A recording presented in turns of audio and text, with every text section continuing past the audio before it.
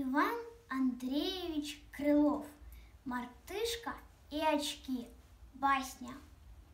Мартышка к старости слабо глазами стала, а у людей она слыхала, что это зло еще не так, с большой руки. Лишь нужно завести очки. Очки с полдюжины она себе достала, вертит очками, так и сяк то к теме их прижмет, то на хвост нанижет. Очки не действуют никак. Тьфу, пропасть, говорит она, и тот дурак, кто слушает людских всех враг. Все про очки лишь мне налгали, и проку на волос нет в них. Мартышка тут с досадой и печали, а камень так хватило их, что только брызги засверкали.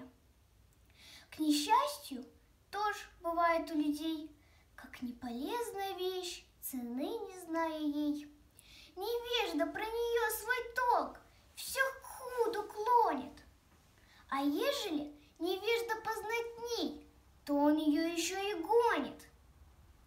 Если понравилось, ставьте лайки, подписывайтесь на канал. Всем!